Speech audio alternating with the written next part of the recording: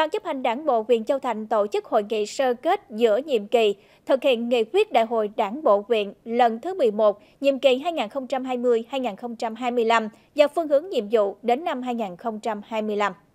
Qua hơn 2 năm thực hiện nghị quyết đại hội 11, nhiệm kỳ 2020-2025, tình hình kinh tế xã hội của huyện có những chuyển biến tích cực, đảng bộ có sự tập trung lãnh đạo và nhận được sự đồng thuận của nhân dân. Kết quả có 7 trên 15 chỉ tiêu vượt, 6 trên 15 chỉ tiêu đạt. Nhìn chung, kinh tế của huyện tiếp tục tăng trưởng, thu ngân sách hàng năm đều tăng, hệ thống kết cấu hạ tầng nông thôn được quan tâm đầu tư ngày càng hoàn thiện, đáp ứng tốt hơn nhu cầu sản xuất, phát triển kinh tế xã hội.